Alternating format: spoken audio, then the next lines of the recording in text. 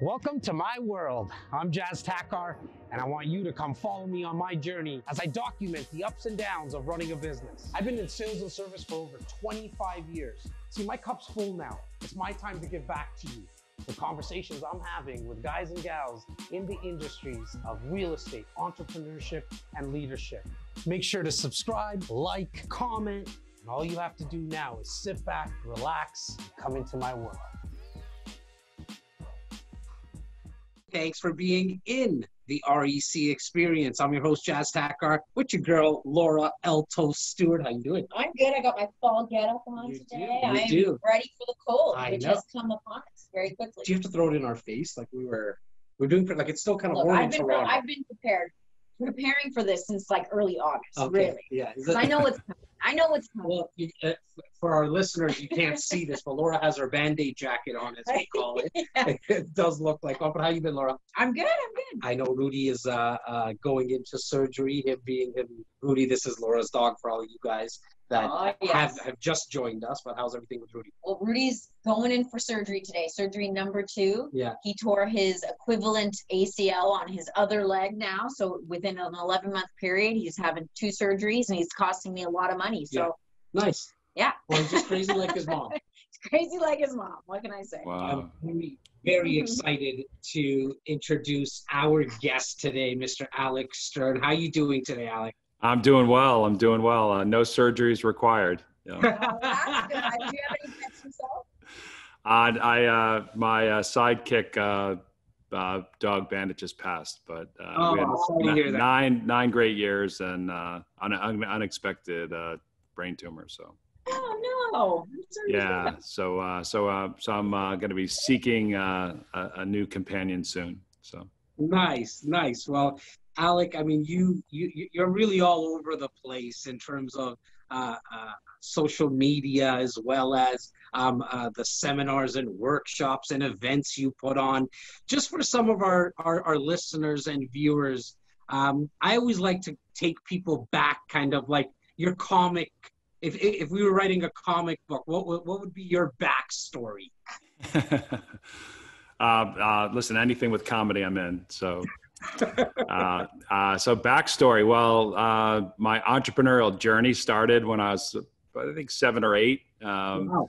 you know, we were provided for as a family, but you know, if there was, if we wanted certain things, you know, we'd always, I'd always hear, uh, well, we don't have the money for it, and so I, I just started, you know, just doing whatever I can to make na- money in the neighborhood, and as I got a little bit older into, you know, uh, my my early teens, I was commanding the neighborhood for uh, uh, cutting grass, shoveling snow, detailing cars, and just a handyman, you know, for for the families in the neighborhood. And and then I started hiring on, uh, you know, younger kids to help me do the job. So I was doing six, eight driveways at a time, you know, to shovel and there's sidewalks with all these other kids helping, and I get paid and pay them. And so, um, so most of it was to save up for those things that I was told I couldn't have, and and then of course I had a big wad of cash and convinced my dad to take me down to the store to buy a moped, and which my mom was dead set against, and she was standing on the porch with her arms crossed, telling me I got to, you know, as I driving by, beeping the horn, like get over here. I knew I was in trouble. I could I could convince my dad to do anything and uh, against whatever she would say. Um, and of course, I pulled in the driveway and she she pulled it in the garage and put a lock on it.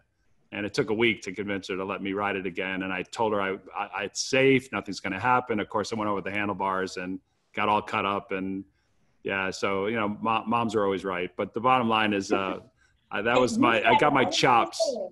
I got my chops on uh, you know being an entrepreneur, and, and then it carried it forward uh, till uh, after college, just jumping in. I jumped into a big company, and then I uh, was invited by someone who was many levels above to hey, want to come to this startup that some other folks in the company had started, and you know I I, I didn't quite quite really grasp what that meant.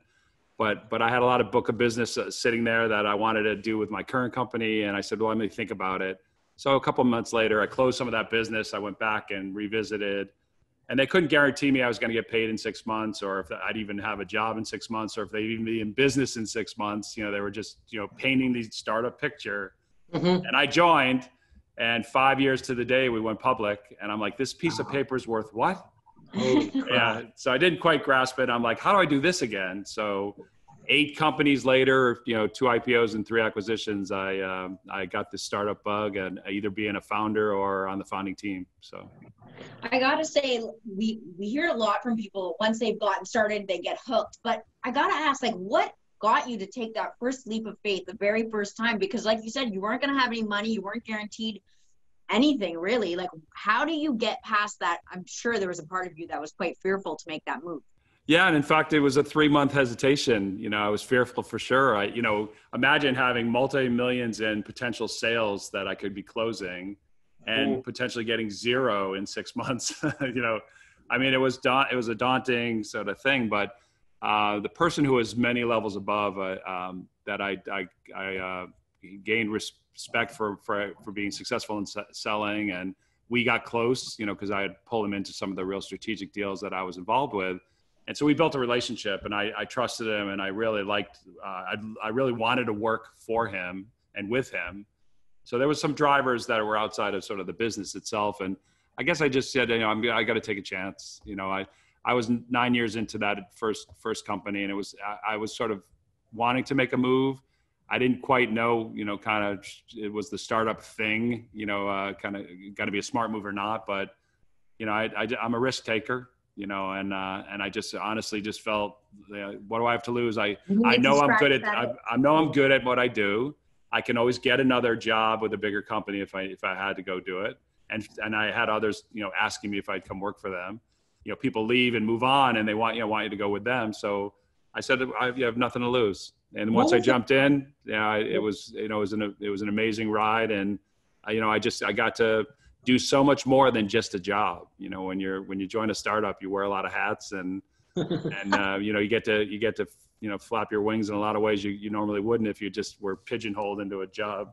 Uh, you know, with a big company. So, what what was the first startup? Alec, what what what what kind of company was it? Was it a tech company or? Yeah, so so my uh, most of my career is tech. Uh, okay. You know, for for all the startups. Um, the first one was uh, it was actually uh, we know we knew the relational databases at the time were you know um, uh, Oracle, Informix, Sybase. We were the fourth, Got it. Uh, fourth that no one knew, but but we it was called VMark Software, and so we actually uh, created a post relational database that small uh, uh, people would write applications for small businesses. So it, it allowed to have a smaller footprint in terms of hardware and software. It was less expensive, and, and it was like this mini computer uh, uh, Uh, uh, formation, you know, spun out of the founding, you know, company was Prime Computer for mini computers, and this was a group that left to go on to figure out how to put a database on top of those that that class of computers. So instead of big mainframes and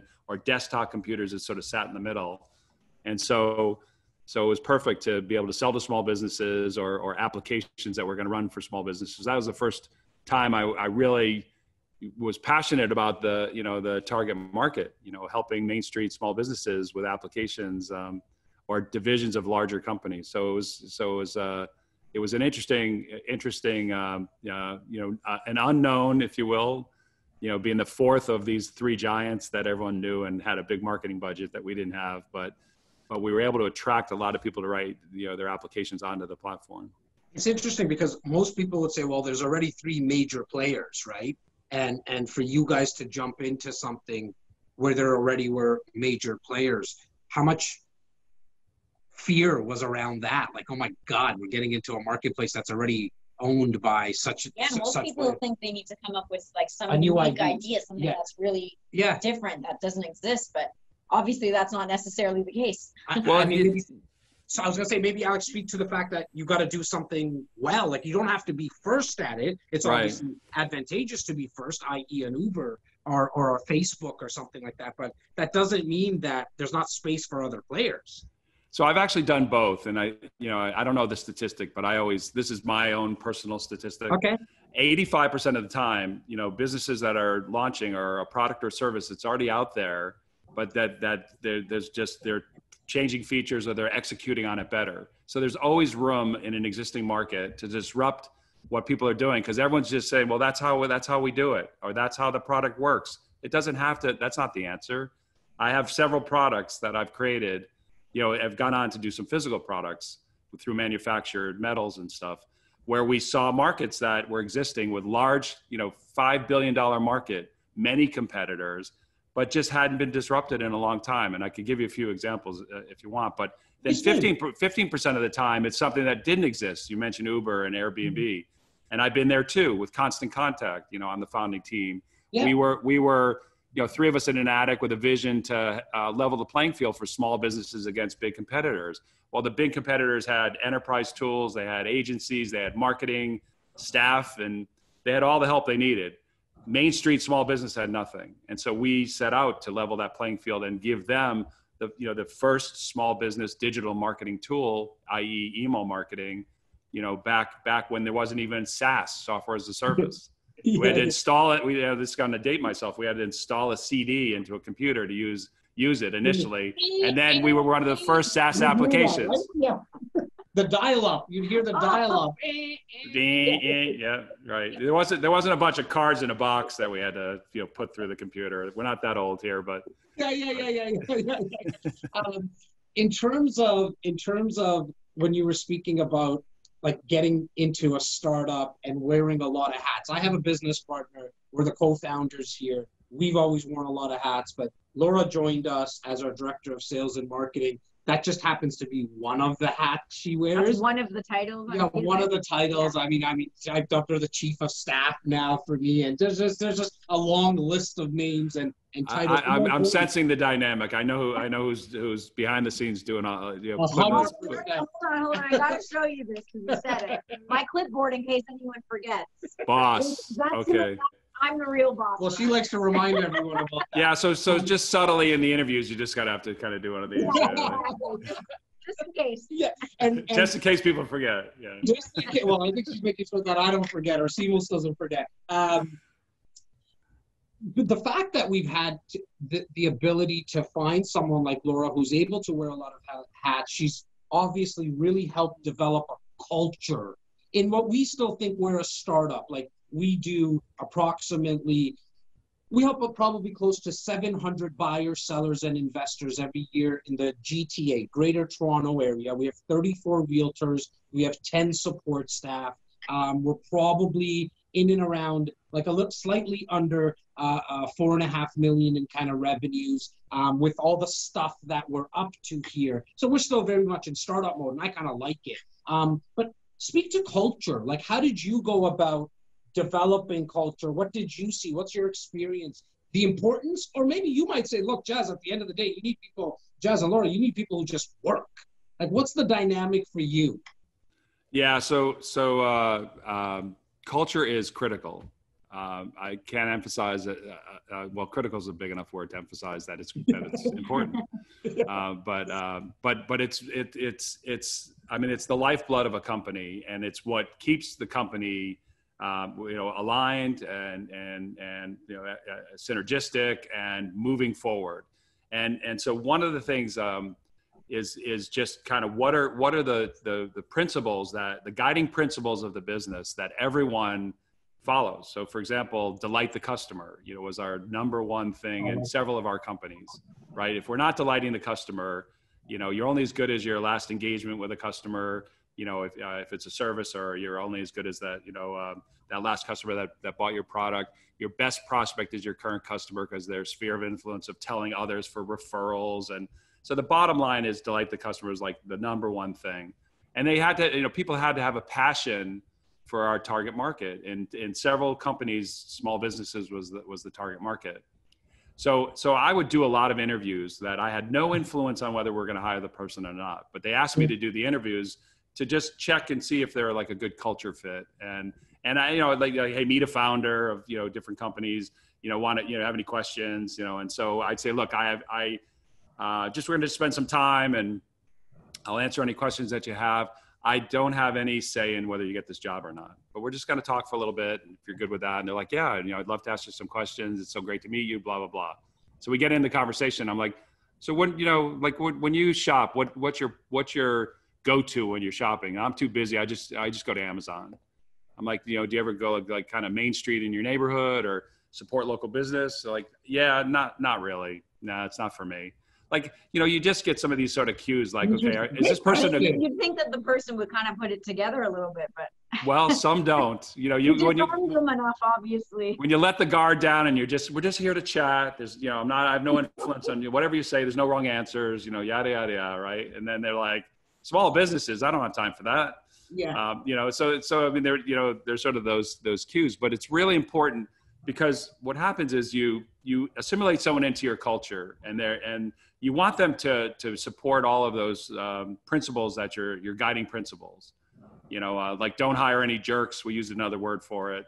You know like that was another guiding principle um, you know I, I just we're keeping it we'll keep it clean here Oh, you, you, you can go down any route with us. all right, so so don't hire any assholes, right? Exactly. Like that was that was a guiding principle. Like we needed to make sure. easy For everyone to understand that. Don't don't hire All right, that. okay. Well, listen. All right, let's uh, gloves are off. Let's go. Uh, I, and then I there, there are you know others. Um, you know, be title agnostic. You know, I we I, you know you bring somebody in and you I'd be interviewing and they're like, well, I don't want anyone. I don't want anyone to come over me between me and the the, the level I'm going. And I don't want to change my title. Like I want my title to be at least this level. And it's like, who cares what your title is? Like we got to be title agnostic. You know, leave politics at the door. Leave you know. Um, because there's always you know folks that are just going to try to be climbing and and as as you grow you're going to have to bring in new people and in some of the companies as we were growing so rapidly somebody could be a, a individual contributor one day become like a manager like a month later and become a manager's manager like in two months. Wow. if they're not if they're not bought into the culture it won't carry forward to all the, the other people that come in from from there. And so so it's just so important to make sure everyone's aligned and and marching toward you know creating frictionless products and services you know making sure that that know, we're delighting the customer at every turn reward around the whole company reward everybody for every, single day for anything they're doing that that delights the customer. And if they see friction in anything we're doing raise your hand speak about it open door policy like all of those things that you know um, if you you you not only just say them but you have to live into it and and make sure that everyone's treated equally and and everyone has a say and everyone can be the boss. At the lowest level to the highest level everyone can be a boss and they have a voice. And so those things to me are so important uh, because when when the shit hits and it's and like you're it's you're in stress mode or there you know critical things need to be happening for the business to go to to to the next level or we're not going to get funding if we don't do x or we've got to make sure everyone is not you know just going to take their bat and ball and go home. They're going to like roll up their sleeves and do whatever it takes. And they're the people you don't have to ask to stay past 501 p.m you know and uh, like you know the mass exodus at you know 5 5 p.m that you see in oh, It's know, usually and- at 459. Alex. It's usually at 4:59, The- yeah. The restaurant's already closing. It's yeah funny because we really like as we've grown probably doubled in the last year, I would say in terms of our size. I mean, you start to feel how the culture can get a little bit lost in the pressure of what's happening, right? Like Yeah. everyone's working so hard and like you said, like no one really leaves here on time. Although you can start to see some people pulling a bit away. What do you say to like someone who was with you from the start, but now they're not really pulling that culture forward? Do you let them go? Like, where's your sense of loyalty there? Just out of curiosity. Yeah. So, so um, I think you know if someone's there from the start, then they've assimilated in. You know, like they, they'll either find their way out or, or realize it's not a fit, or or you would have probably already determined that. So I would. I'm just going on the assumption that if they're there for a long time, they're bought into it. They believe in it. Like you know, we had you know people that were just you know even in the earliest days in a couple of the companies were you know just like pulling all nighters you know on a regular basis. We go right Yeah. into the weekends. Like they were sacrificing a lot for the business uh, because we didn't we weren't making them do things. We were, we we had some volunteer Saturday days where we would you know te- testing new re- a new release was going to come out and we're going to test that on a Saturday when you know the where you know, we'd have less u- users on on the platform for example and and we have a full house of people coming in and we you know bring in food and uh, you know at several of the companies like constant contact that you know, i called it constant calories because there was just food everywhere It's always Like, food. Same with us. there's food everywhere every every break room and we had we actually had one guy that did an app like you know to tell you what food like pizza in kitchen four you know like Uh, You know, so so so like We were just you didn't miss a beat. if you didn't, if you wanted to, you know, three or four square meals a day, you you had you had it. Yeah. So Yeah, we do a lot of that. We just uh, finished a massive uh, uh, jerk chicken Caribbean food lunch just for the whole staff. We, I feel, anyways, when everyone's fed and we're eating together, you know, they say if a, a family eats together, you stay together, and so this is definitely a family setting around here for us. When you know, more to Laura's question as well, because I, I, I thought she was going to go one like a, a certain direction with it. So, but I wanted to add add to it because I'm I'm actually wondering not only when you do you have somebody who's like been with you for a while and if they decide to stay or not stay. What i'm finding sometimes difficult alec is, is when i hire newer people the guys and gals that have been with me for a while they got a lot of time with me and so i was able to spend 10 hours 12 hours in fact the table that we're doing this podcast on you know we would have four or five chairs around here. Now there's more people. It, it is a little bit more difficult for me to spend that much time that I did with, with with with some of the people that were here originally. How did you navigate through that? Yeah, and so so uh, some of it, some you know, so as a founder on a lot of companies, you know, and when we talk about title agnostic, I mean, one other point to make is that stay in your lane. Like I knew what I was really good at, you know, um, and I would I would oversee a lot of things early on, and then peel off pieces that you know bring in the experts, like I don't, you know, and so so some of that is uh, was on me, you know, and, and in other cases it moved on to others to to so that everyone got that time with you know someone in se- senior management. And and I you know and I was always um, of the school to move aside you know if if if a, if investor comes in and they want adult supervision fine you know that's cool. We'll bring someone in to be CEO and and if they've got chops in, in what we're doing or have experience in in you know uh, IPO or acquisition or whatever great you know like step aside let them do that you know and and so I think again part of the culture is that that's the that's that that's part of the, the part of growth. But at the same time i've always i always made it a point to have an open door and and and we always did skip level stuff you know formally. So so you would meet with um, not your boss but your boss's boss and so we did a lot of skip level or we do group lunches or new new, new employee lunches you know where we take you know take folks out and and just try to get as much face time as we we could. You, you know you may not be able to do everything individually but you can certainly do some group based things. And we did a lot of socializing a lot of you know a lot of lunch and learns a lot of things you know with with several different companies to just give face time with people and and give people the opportunity to grow within. And so so we have um, I loved, you know, in in uh, two two stats I'll give you. So constant contact when we we went public and then we sold the company. Um, when we sold the company, we had 1,500 employees, and over half of those employees came from referrals of other employees. Right. So if someone loved working there so much, half of the people came from you know. In some cases, we had this bloodline of like 10, 10 or 15 kids that went to you know that went to college together that you know that that then joined the company. Um, and then we had you know we had a lot of promotions and growth within the company and i don't remember the exact percent but people would move from one department to another department. So they would go to lunch and learns. They were we were open door policy allowed them to meet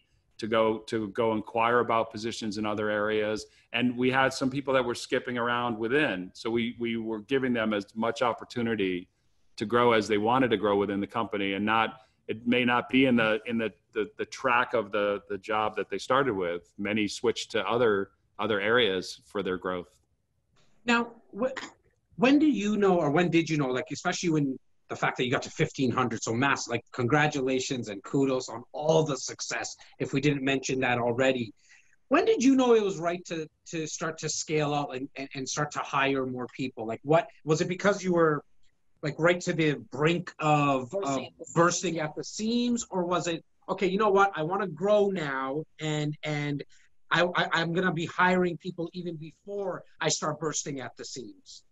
Yeah, so so um, I think I think you, you divide that and the answer to two parts. The first part is uh, required positions that are that are non-starter, right? So so if you're gonna if you're if you're gonna have a growth spurt or seasonality means like that this next season it's gonna be there's gonna be a, a bump up of some percent of business, then you've got to make sure you've got the people positioned to to uh, extra people to fulfill the requirement.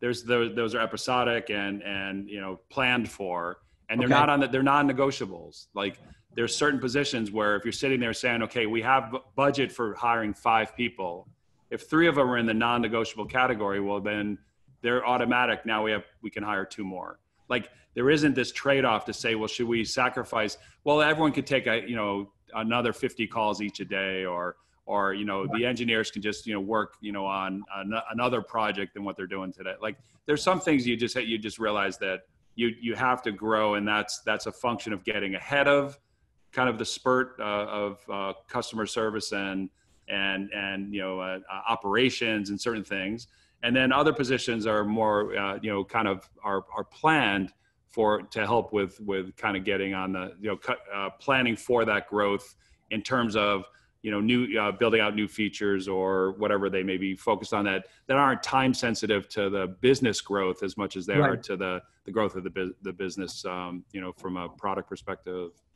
I, I want to jump back to something that you said earlier, like when you were thinking about, like the, you, you understood that you might not have gotten paid for six months, even if the company, let alone, was going to be around. I, Jas is trying to figure out how to not pay people. well, pay you specifically. It's you, Yeah, this, is, I this is really okay. more for you. Yeah, so so we're Um, gonna have a conversation about how, if you. Uh, so we're gonna determine by the end of this whether whether Laura gets paid or not. Is that? is Yeah, that- that's I'm- I'm exactly- trying to get That's exactly where it's going. all so I right, all appreciate right. that. So, all right. I appreciate that. Um, I talk to a lot of people through my social media content the importance of look, there, you, you, if you're looking for a job or you're looking for a role in a company, yes, you can send out a bunch of resumes, and that's a great start. But I think to to fast track that, something that maybe the younger generation can do, and it doesn't matter really what age you are, but you can because when you're younger, you might not have as many bills, monthly bills that, that, that you're committed to, but to actually go and work for free.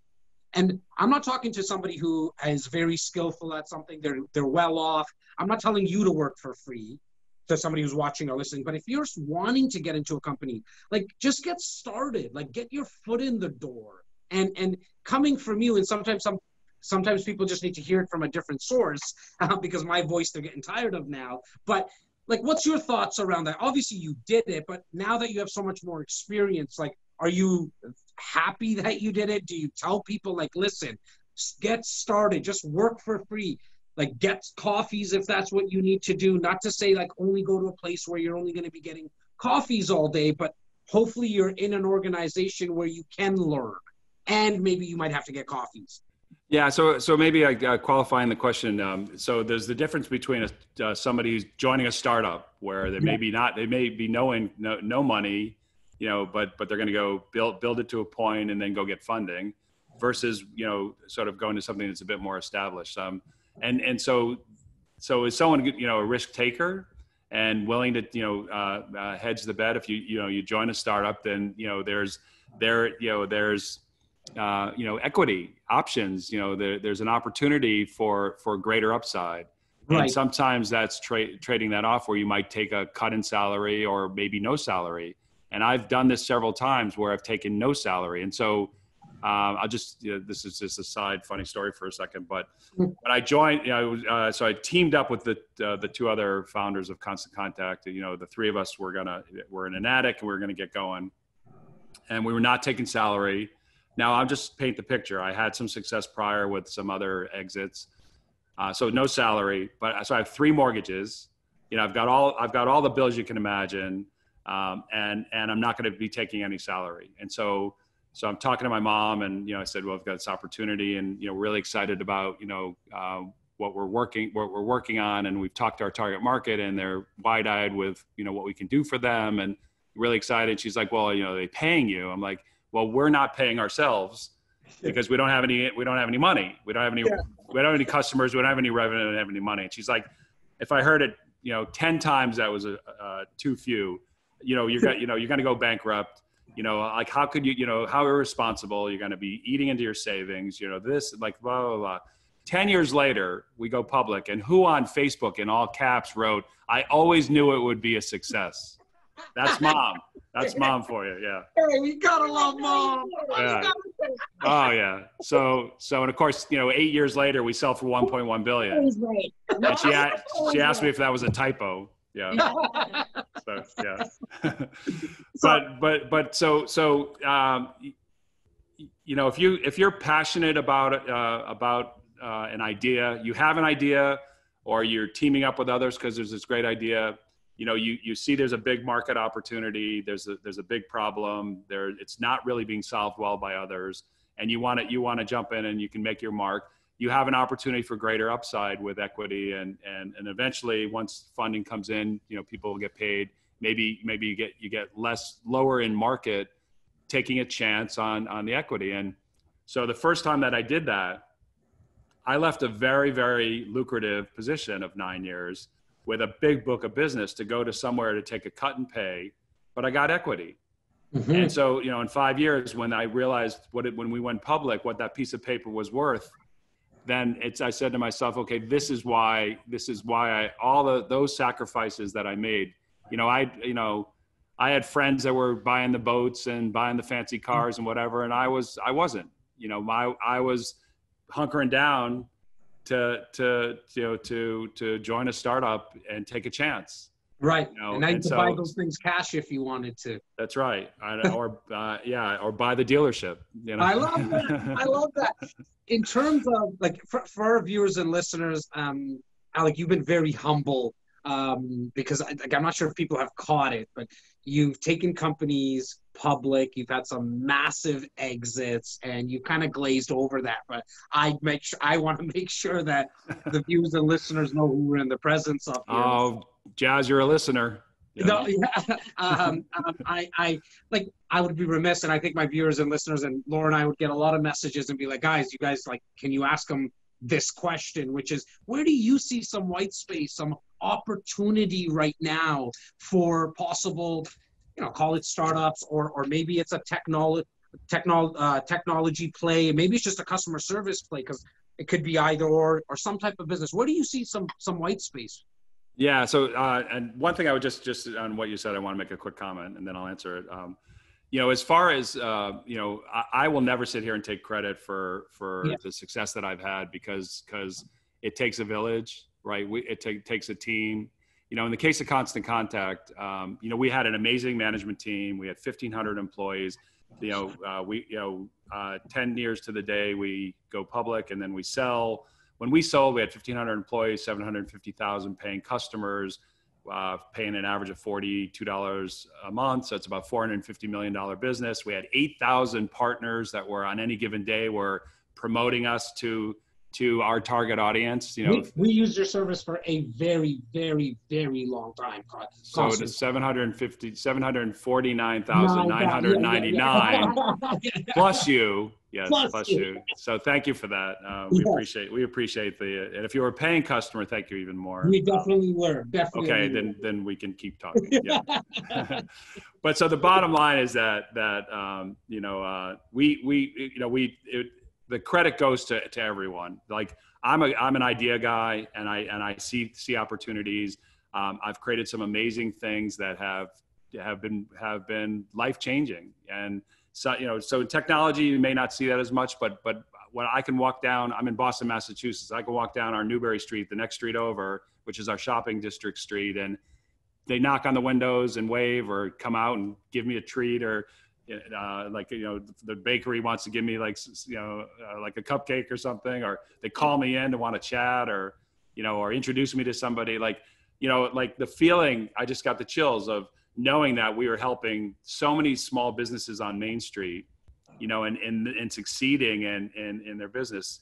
You know that I, I wouldn't trade that for anything. And i go around the world speaking and i go onto main street wherever i am in the world um, and uh, and I'll I'll talk to small businesses and ask them what are you doing about marketing? And half the time they're they were you know they, they are a customer of, of constant contact. And and I just you know I, and, and they get a kick out of it. I get a kick out of it. And and just offer them some tips or suggestions from from you know having a quick conversation. And and I I love that. I anything to you know anything to help the you know the, that that feel good. So I think it's so I think it's really really important. Um, uh, the second thing is that, um, you know, I live by my my my mantra is, you know, accomplishments are something to build on, not rest on. Mm. right? So I tried retirement uh, for about six months, maybe, and was bored out of my mind, and then quadrupled down. I'm now co-founder of four different companies. That uh, we have an innovation think tank. We're spin, spinning out new products that are disrupting billion-dollar markets. Like, and I and and it's not me. There's a team. There's eight of us, and there's my two co-founders are rock star mechanical engineers. We have a manufacturing facility. We're making products, physical products. Uh, I can show you. I'll show you Yeah, one. for uh, sure. if you want a quick. So, so this, this is your standard kind of walking cane. Mhm. Yep. I don't have to describe that, but this was never really disrupted, but the the reacher grasper is concealed inside. Ah, I need one. Yeah, yeah, yeah. Yeah, so, so if you can't, if you're, if you're vertically challenged, you know, you can get stuff off of higher shelves. Yeah, It's I actually I just bought one not that long ago. It wasn't a cane, but it had the thing on the Luckily, end. hubby's six something. So. Yeah, Uh, yeah. So yeah, so you got to pair yourself with someone who can get the high the high items off the shelf. But so so this is taking two markets, you know, that that hadn't been disrupted, like you know that that that aluminum cane with the gray handle that we all see everyone walking around with, or you know, there's a couple have come out since that are a little bit more modernized, but. Um, and then the grasper is pancaking and it doesn't really pick stuff up. And it, this grasp like your hand, you know, can hold up to five pounds of weight. And so it gives somebody their mobility and their independence and convenience back when they're not walking, you know, room to room carrying a cane and a grasper or leaving the home with both. No one takes the grasper with them. And my mom's a perfect example. Had knee replacements, uh, got, go, goes to the car, tries to get her keys out of a bag that she would have won everything on. And Price is Right because that bag had everything in there. I'm like, Mom, do you have a paperclip? Mom, you know, do you have a stapler? Mom, you know, do you have a shredder? What do you got in that bag? Yeah. but but she she drops her keys and she has to wait. She doesn't have her phone. She forgets her phone, so she's standing by her car waiting for 20 minutes for someone to come to Aw. pick the keys up to give them to her. Well, of course, the, with with the the reacher grasper cane, it's a it's a combo. She could have picked it up right away and go on her and gone on her way. So so so there are tons of opportunities for disrupting existing markets. So I look for those, and I've, we've found four four different areas where we're we've built products that we've brought out, we've tested, and and and have had success. As far as opportunities for folks uh, outside of that, the you know now the you know real real estate and alternative investments in real estate are incredible. Um, you know there's there's a lot like I, I'm in RV parks. You know we're dropping in RV parks uh, in a six six hundred mile strip of roadway in the 300 mile mark. Put another RV park and make it a 10 star tricked out nicest thing you've ever seen. A little RV you know, resort. do it at do it on the water where there's cottages where they can check you know check in with the RV and then then check in again into a cottage on the water and you know and so I've just been an, an investor in some some interesting things because there's tons of alternative investment opportunity. And of course then you know asking everyone to like a side hustle. I've been involved with um, a couple things on the direct selling side that that are amazing products with with great companies that that afford people that extra the extra income on a you know kind of that monthly basis. To whatever level however much time you want to put in you you get back in return you know with with um, with with some money. And so so i've just filled the gaps if you will in my own personal portfolio of looking for things that are alternative and and some things i'm you know doubling down and you know funding you know as uh, innovation think tank to fund our own companies and in other cases you know i'm investing in in both tech and non-tech you know, for uh, for in many different uh, different areas. But there's a lot. Just kind of as we come out of this uh, current market condition, there'll be a lot of room for growth and opportunity. yeah So, Alec, a lot obviously a lot of our listeners learn a lot from hearing about uh, people we have on about their successes. I was wondering if you can kind of go back in time a little bit and maybe draw on one of your failures or, or a learning opportunity and, and provide that to our listeners. Um, yeah, so so I'd love to. I, did, I don't have a specific. Uh, I've had uh, spot failures in every situation, and we've righted the ship. So, so thankfully, I'm finding some wood. So we're gonna knock. I, Um, I, got, I got that for you. yeah, we got a knock on that table for me. Thank you. Um, uh, but but I, I think I would love to answer that a little bit more. Ge- ge- um, not skating the question, but I want to answer it a little bit more generally. The, um, obstacles are the thing that uh, in most cases will uh, be the stuck point of businesses failing, especially startups. Right? How to handle obstacles, and I think one of the most important things that I, I didn't know and really learn early enough, but I do know now and I know it well, is that you've got to create the muscle memory to deal with those obstacles. So the first thing about an obstacle, it's if you don't like if you were like me, you walk into the, you, know, you get your clipboard or your piece of paper and you write the obstacle on the first line and you put a little box next to it and you hope you check it by the end of the day and you don't. You go the next day, it's there again. You write it again on a new piece of paper. Like, you know, you're just avoiding it. Um, so the first thing is just uh, you've got to stop that, and you've got to go seek counsel because you're not the first one having the obstacle. so who who tackled it and, and knocked it down before successfully? Who failed at knocking it down, right? And then you you'll you'll um, you'll get the learnings from that. Can it be broken down into smaller pieces, smaller wins to to chunk it up and knock it down pieces of it? Because you've got to develop that muscle memory to knock down that obstacle. Because the minute you do, behind it is a bigger one Hmm. And this is no, this is a fact. And you're growing your like business. You get, it, it, you could, yeah, if you got a lot of them, that's whack a mole. Yeah. But um, no, don't be hitting each other. This is a game that you hit the board. You know, I, I, I did once. We were whacking each other once. Yeah, I know the feeling.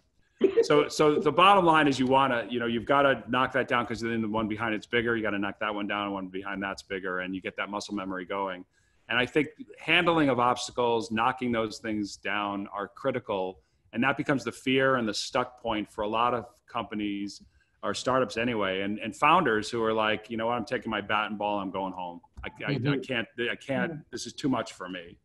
And, and in anything in life and in business, you, you're going to have obstacles and it's how you deal with them. So for me, that was one of the most incredible kind of eye-opening experiences to figure that out and then realize I'm not alone. I'm not first, and really take advantage of seeking counsel and and finding the ways to knock those down and do do it with humor because some of the worst worst scenarios I've always try to find laughter and everything.